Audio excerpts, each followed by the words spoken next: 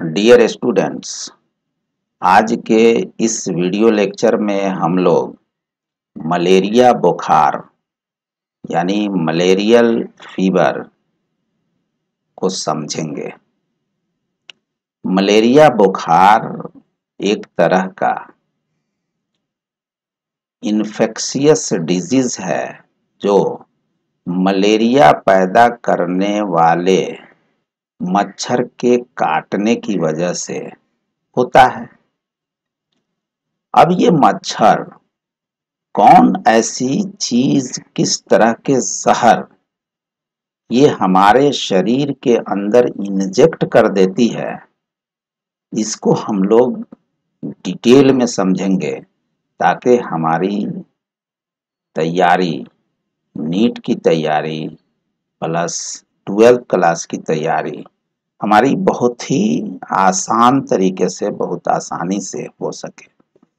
तो आइए सबसे पहले हम लोग मलेरिया का जो डेफिनेशन है, मलेरिया फीवर की जो डेफिनेशन है, एक दो लाइन में इसको लिख लेते हैं।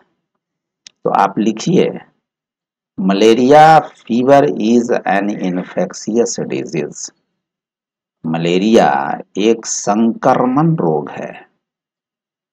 उसके बाद लिखिए it is caused by parasites that are transmitted to people through the bites of infected female anopheles mosquito बिल्कुल ले मैन टर्म में समझिए कि मलेरिया, फीवर एक संक्रमण रोग है जो मलेरिया पैदा करने वाले मच्छर के काटने से होता है।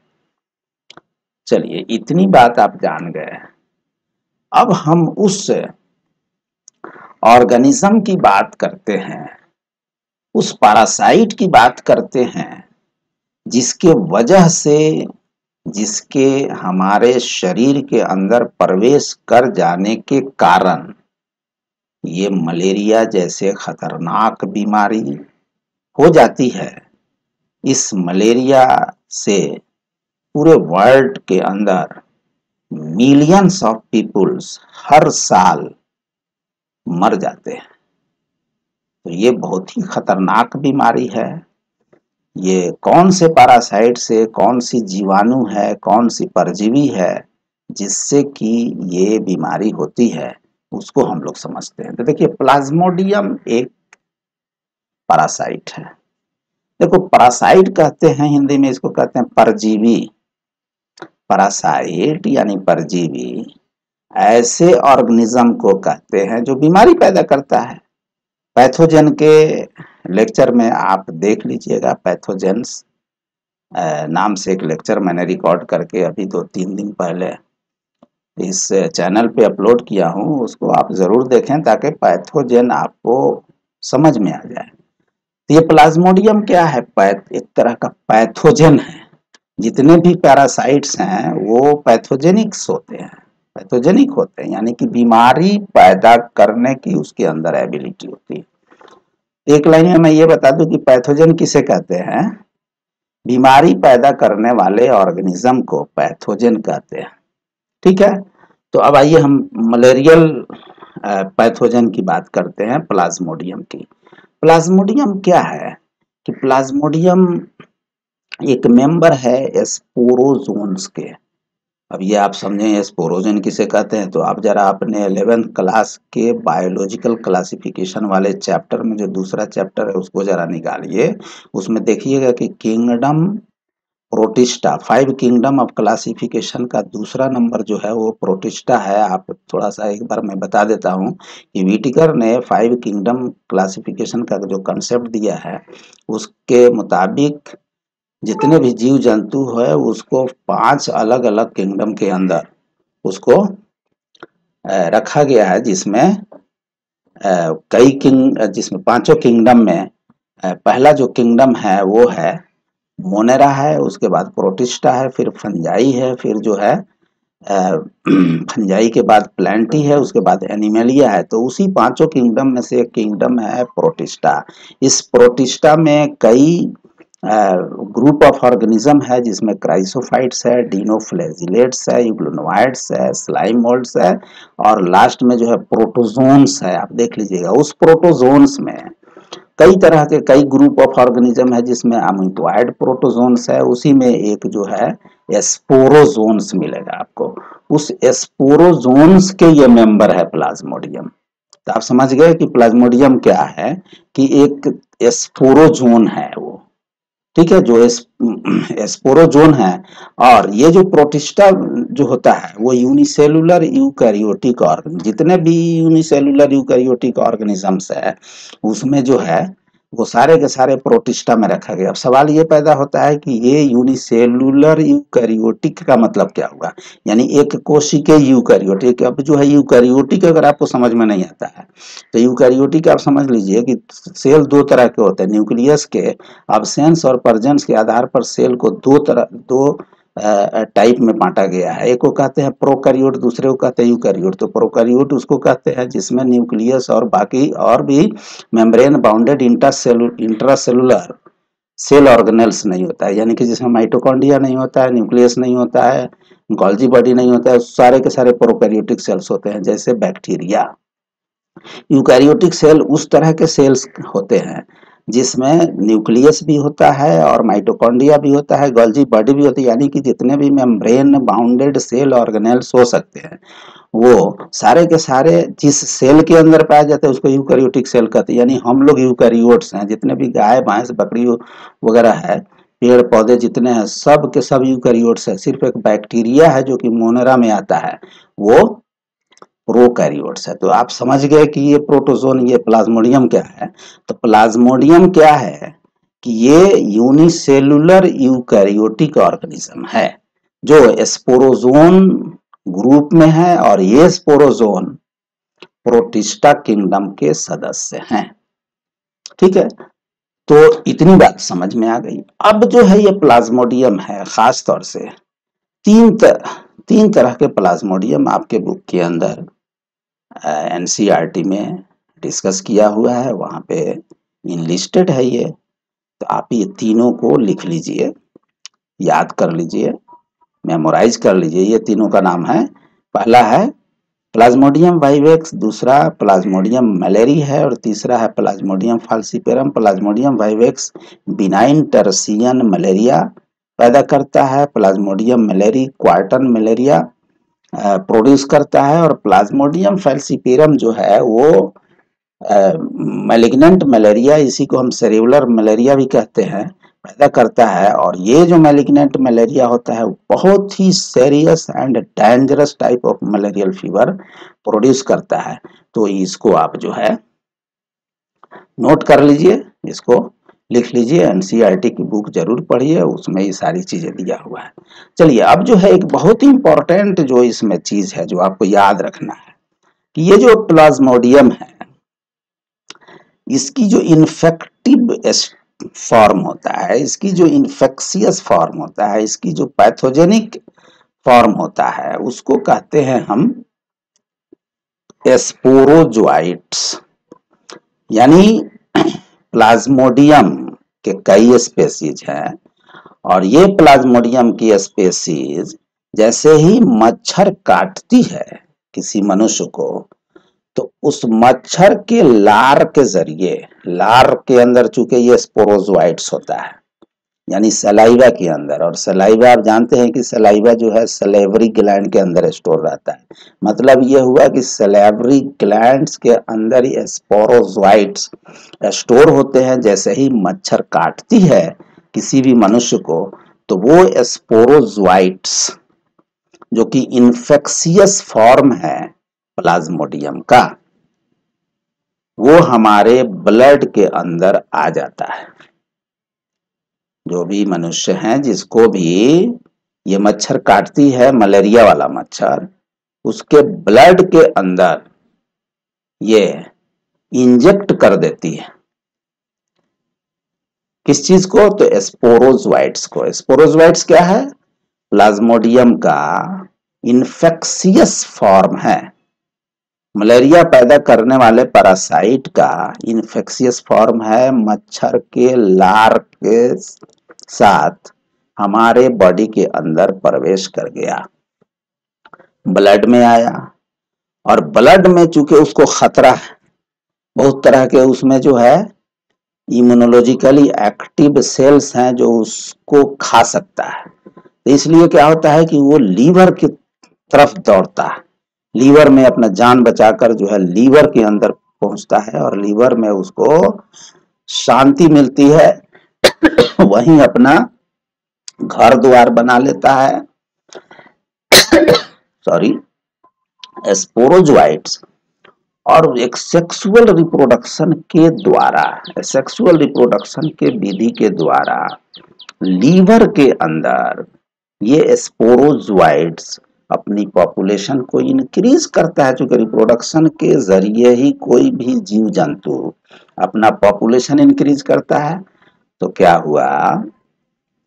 मच्छर से स्पोरोजोइट्स हमारे शरीर के लीवर में ब्लड के थ्रू ब्लड से होते हुए लीवर में पहुँचा।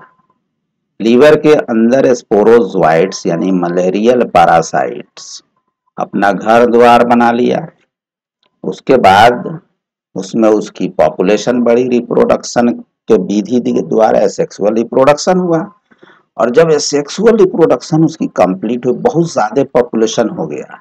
तो हिपैटिक सेल लीवर के जो सेल्स होते हैं लीवर जिस सेल्स के बने होते हैं, उसको हिपैटिक सेल कहते हैं। हिपैटिक सेल को डिस्ट्रॉय करते हुए, उसको रप्चर करते हुए उसमें से बाहर निकल कर और फिर ब्लड का जो आरबीसी होता है ब्लड में तीन तरह के सेल्स होते हैं। एक को कहते हैं आरबीसी रेड ब्लड करपसल्स दूसरे को कहते हैं डब्ल्यूबीसी व्हाइट ब्लड करपसल्स तीसरे को कहते हैं प्लेटलेट्स तो उन तीनों टाइप के जो सेल्स हैं, उस सेल्स का जो आरबीसी है रेड ब्लड करपसल्स है, यानी एरिथ्रोसाइटिक जो सेल्स हैं, उस सेल में ये दाखिल होता है। सेल के अंदर दाखिल हो गया, यानी एरिथ्रोसाइट में दाखिल हो गया, यानी आरबीसी में दाखिल हो गया, और उस आरबीसी को खाना शुरू करता है। सीधी ले मैन टर्म में आप ऐसे समझिए उसको खाएगा उसका भोजन हो गया, वो वो स्पोरोजोइट्स का भोजन क्या हो गया? ये ब्लड सेल्स यानी एरिथ्रोसाइटिक सेल यानी आरबीसी उसको खाएगा, खाकर उसको मार देगा। तो इस ब्लड का जो ब्रेकडाउन होगा एरिथ्रोसाइट की जो ब्रेकडाउन होगी उस ब्रेकडाउन के फलस्वरूप दो चीज़ें बाहर आएँगी। ब्लड के अंदर दो चीज़ें मिलेंगी। एक तो हीमोजोइन एक जहर है एक टॉक्सिन है।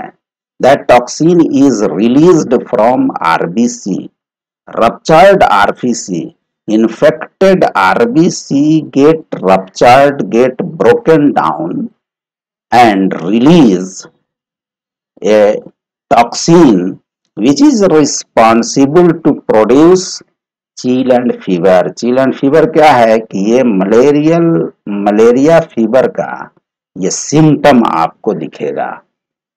तो ये दो चीज़ें याद रखिए स्पोरोजवाइट्स एंड हीमोजोइन स्पोरोजवाइट्स क्या है? वो मलेरियल पैरासाइट यानी प्लाज्मोडियम का इन्फेक्सियस फॉर्म है और हीमोजून इनका है? ये क्या है? मलेरिया पैदा करने वाला टॉक्सिन है जो कि आरबीसी, इन्फेक्टेड मलेरियल पैरासाइट के आरबीसी से ये रिलीज़ होगा। और उस आरबीसी में गैमिट भी बन जाते हैं। Male gamete and female gamete जिसका ज़िक्र हम अगले वीडियो में करेंगे। इसमें हम लाइफ साइकिल का ज़िक्र करेंगे। पूरी डिटेल में इसकी लाइफ साइकिल हम बताएँगे। तो उसमें हम गैमिटोसाइट का ज़िक्र करेंगे, जो कि ह्यूमन होस्ट के अंदर गैमिटोसाइट ब्लड में बनता है और ब्लड के अंदर रहता है। जैसे ही मस्क्वीटो काटती है, मच्छर काटती है मलेरिया वाली मच्छर तो वो ब्लड मिल के ज़रिए ये गैमिटोसाइट्स उसके स्टोमक में चला जाता है, उसके पेट में चला जाता है और उसके पेट के अंदर, यानी स्टोमक के दीवार के अंदर क्या होता है कि वहाँ उसका फर्टिलाइजेशन होता है। फर्टिलाइजेशन के फलस्वरूप आप जानते हैं कि साइगोट बनता है और वो जाइगोट फिर डेवलप हो जाता है। Infectious form of malarial parasite that is sporozoites तो ये एनसीईआरटी का से लिया हुआ है लाइफ साइकिल आप उसमें आप देख सकते हैं, एक बार पढ़ लीजिएगा, ताकि आपको हम, मेरा लेक्चर समझने में आसानी हो जाए। तो अब क्या है कि जैसे ही एस्पोरोजोइट्स हमारे शरीर में पहुँचा तो ये तीन दो स्टेज को कंप्लीट करता है। मलेरिया पैदा करने से पहले दो स्टेज से होते हुए ये मलेरिया पैदा करने वाली स्टेज तक पहुँचता है। तो पहले स्टेज को कहते हैं पीरी एरिथ्रोसाइटिक स्टेज। पीरी का मतलब होता है पहले, एरिथ्रोसाइट का मतलब हुआ आरबीसी, यानी आरबीसी में पहुँचने से, आरबीसी के अंदर जो एक साइकिल होती है उसको शुरू करने से पहले वाला जो स्टेज है उसको हम कहते हैं प्री एरिथ्रोसाइटिक स्टेज तो ये प्री एरिथ्रोसाइटिक स्टेज शुरू होता है स्टार्ट होता है कहाँ से? मस्क्वीटो बाइट से और कंप्लीट होता है ये इंट्रेंस इन आरबीसी आरबीसी में उसके इंट्रेंस करने तक इसकी, इसका जो है प्री एरिथ्रोसाइटिक स्टेज कंप्लीट होता है। तो प्री एरिथ्रोसाइटिक स्टेज में कौन कौन से सब स्टेज है? तो mosquito bite plus sexual reproduction sexual reproduction के फलस्वरूप क्या होगा? मल्टीप्लीकेशन ऑफ़ स्पोरोजोइट्स होगा। उसके बाद लीवर सेल्स को से निकलकर और ये आरबीसी में जैसे ही घुसेगा मतलब क्या चीज़ घुसेगा? तो sporozoites that is the infectious form of plasmodium RBC में इंट्रेंस करने तक जो स्टेज है, वो प्री एरिथ्रोसाइटिक स्टेज में काउंट होता है। इसको हम प्री साइजोगोनी भी कहते हैं। चलिए, उसके बाद में क्या होगा कि एरिथ्रोसाइटिक स्टेज स्टार्ट होगी। जैसे ही वो एरिथ्रोसाइटिक ये एरिथ्रोसाइट में यानी आरबीसी में स्पोरोजोइट्स इंटर किया तो एरिथ्रोसाइटिक स्टेज शुरू हो गया। ठीक है इंट्रेंस के बाद उसमें क्या करेगा कि वो एरिथ्रोसाइटिक सेल्स के जो कंपोनेंट्स है, उसको खाएगा।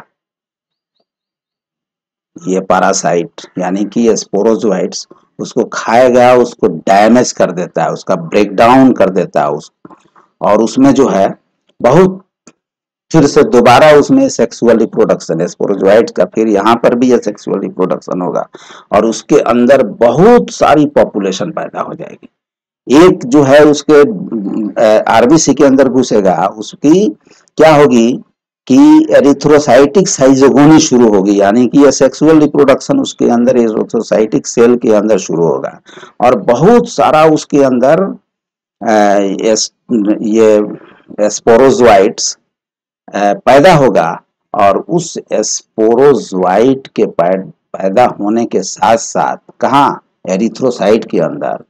उसमें से एक टॉक्सिन रिलीज़ होती है, जैसे ये रप्चर होगा, ये आरबीसी यानी आरबीसी फटेगा तो उसके बाद क्या होगा, उसमें से एक टॉक्सिन रिलीज़ होगी। इस टॉक्सिन का नाम क्या है? तो हीमोजोइन जैसे ही वो टॉक्सिन रिलीज़ होगी तो पेशेंट को आएगा फीवर जाड़ बुखार। जाड़ के साथ यानी कि उसको जो है कपकपी वाली जाड़ लगेगी और पेशेंट ये कहता है कि हमको कंबल ओढ़ा दीजिए, हमको रजाई उड़ा दीजिए तो ताकि आपके पास जितना भी कंबल, रजाई है, सब उड़ा दीजिएगा, तब भी उसको ठंडा लगेगा, चील फीवर होता है, उसमें शिवरिंग होती है और हाई फीवर होता है। और ये जो फीवर की जो साइकिल चलती हो एनसीईआरटी ने जो लिखा है, मैंने उसी चीज़ को यहाँ नोट किया है कि this fever, high fever hemozoin is responsible to produce chill and high fever, which comes every three to four days. कहीं कहीं किसी किताब में 48 घंटा लिखा है कि 48 घंटे के बाद इसकी रिपीटेशन होती है इस फीवर की, और ये रहता कितना देर है ये फीवर तो ये 6 से 12 घंटे तक रहता है। तो ये चीज़ आप समझ जाइए एनसीईआरटी ने जो लिखा है उसी को याद रखिए। तो आप लिखिए hemozoin is responsible to produce यहाँ पे टू जो है टाइपोलॉजिकल एरर है यहाँ टू छूट गया है तो आप लिख लीजिए hemozoin is responsible to produce chill and high fever which comes every three to four days किसी किसी किताब में 48 घंटा यानी 48 आवर्स यानी दो दिन लिखा हुआ है, और ये फीवर कितना देर तक रहता है तो 6 से 12 घंटे तक रहता है, और ये साइकिल चलती रहती है। तो इस इस वीडियो में बस इतना ही। बाकी हम इसकी लाइफ साइकिल, दूसरे वीडियो के अंदर हम कंप्लीट लाइफ साइकिल आपको बताएँगे, जिसमें इसकी लाइफ साइकिल के एक एक कंपोनेंट कंपोनेंट बिल्कुल क्लियर आपको समझ में आ जाएगा। Thanks for watching this video.